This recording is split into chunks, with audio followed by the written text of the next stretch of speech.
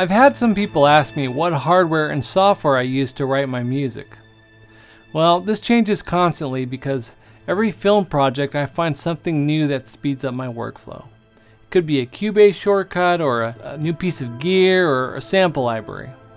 So I'll share what I'm using today, but just know that in a few months it may be different.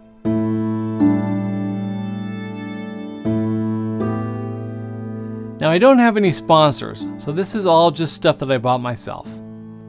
I'd say it's a pretty practical setup, so that means you won't find any fancy hardware synthesizers or modular gear or any of that stuff. I mean, that stuff is cool, but currently I'm all in the box. Now, currently my computer is an iMac Pro, and I use that to run Cubase.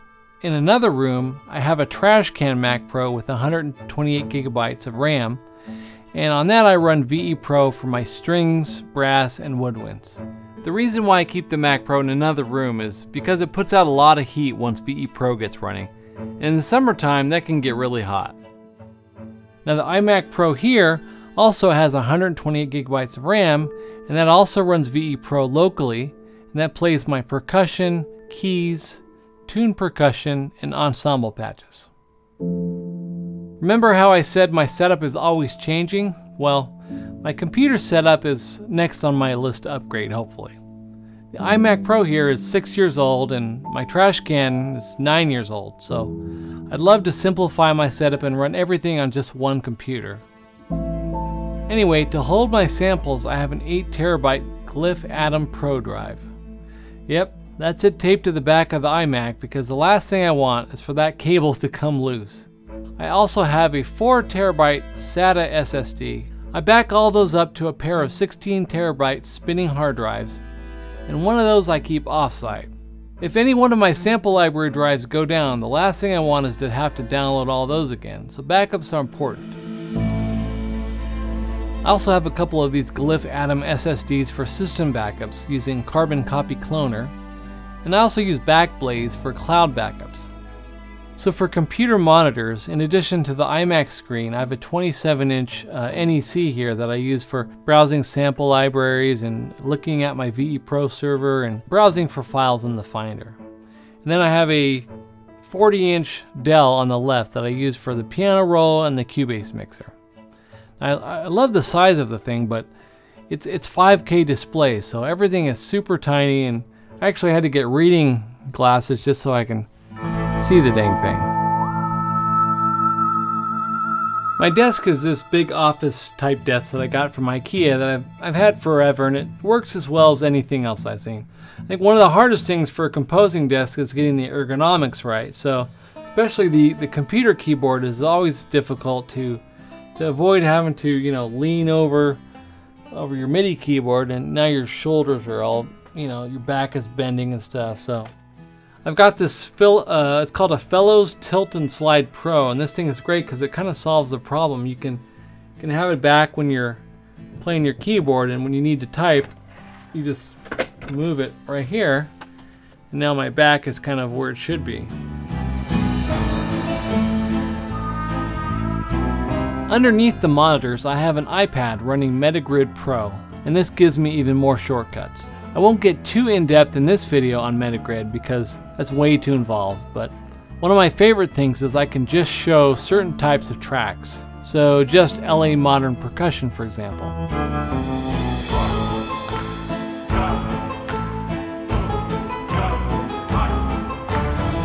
This saves time scrolling to find what I need. It took quite a bit of time to set this all up, but I couldn't have done it without Jason Graves and his videos, so I recommend checking those out.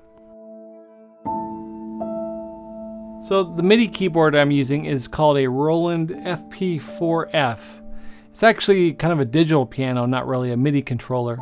Uh, I wouldn't really recommend it if you're going to buy something new. This is just what I had.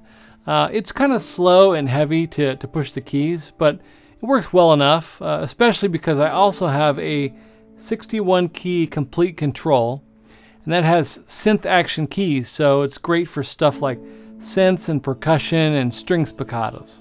So for my MIDI CC controller, I have this uh, Fadermaster Pro, and you can kind of see how I have the, the CCs mapped with the labels here. Uh, CC2 and 3 I use for things like vibrato or assignable parameters like filter cutoff. I also have the click volume on a fader, which was a total game changer. There's nothing worse than working on a quiet part of the music and having the super loud metronome going and having to go into menu and adjust it. So with this fader, I can just bring it down and uh, it's just so much better. I also like how this shows the CC value. That's kind of useful to have as well. Uh, next to the Fadermaster is the Stream Deck, which I have a bunch of Cubase shortcuts on. Uh, sometimes there's just too many keyboard shortcuts to remember, so this is nice because the button just does what it says it does. And you can string together several commands with one button. And if you notice here I have a special button that says be nice. If I'm ever tempted to respond to a mean comment on a YouTube video, for example, I just push this button instead, and it just makes me much nicer. I don't really understand the technology involved. I assume it sends some sort of electric shock to the person who posted the mean comment. So the audio interface I'm using is an RME. It's called the Fireface UCX2. I really love this thing. I just recently got it, and uh, I was previously using an Apogee Duet 2, and then they did a driver update, and it just kept crashing my system. So I said enough with that. I did some research on which interface had the best drivers, and RME is kind of known for their driver stability and the low latency. Um, they're actually one of the few companies that write their own drivers. I also love that this has a loopback feature, so it allows me to do uh, screen captures of my DAW window and I can monitor the audio in real time and there's no latency. And then I also have this uh, RME controller called the ARC USB and this just allows me to adjust the volume going to my speakers. There's no audio actually passing through this, it's just a control for the interface itself. It also has a handy like mono button so I can turn that on which can be useful for mixing. And then my speakers are connected digitally using an AES cable so there's no extra analog conversions going on. This is the cleanest signal path that I can get. The speakers I'm using are by Genelec. They're called the Ones. And these are model 8341. And I also have a Genelec 7360 subwoofer.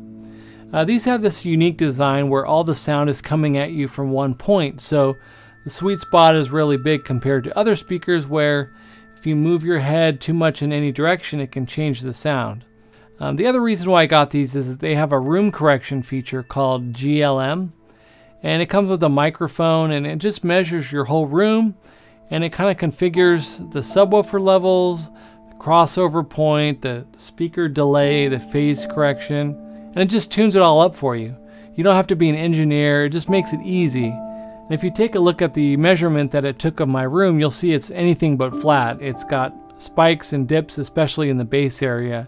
Once I turn on the correction, it just sounds so much better and it's also you know, a lot flatter so I can make educated mixing decisions based on what I'm actually hearing. So all the correction is happening inside the speaker hardware itself. There's no special drivers to install or it doesn't have to take over your audio interface or anything like that. It does have its own software that I can use to control the speakers, change the volume, and take the measurements. All those measurements are then uploaded into the speaker and so there's no latency or lag. All the processing happens in the speaker so uh, it saves your computer from you know having to do all that calculation.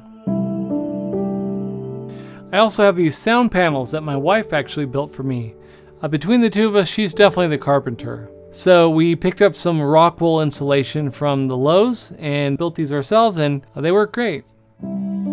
Uh, for headphones, I use the Sennheiser HD650s. Uh, the, actually, these are the the drop version of these, the HD6XX but there's essentially the same thing. I believe they're one of the more neutral sounding headphones, so the mixes generally translate pretty well. Well, I guess that about does it for the hardware that I use. In the next video, I'll talk about the software, the sample libraries, my Cubase template, and VE Pro and all that good stuff. I'd love to hear about what kind of hardware that you're using in your setup. And if you have any questions, about my setup, feel free to put them in the comments. Just don't make me use the be nice button. We'll see you next time.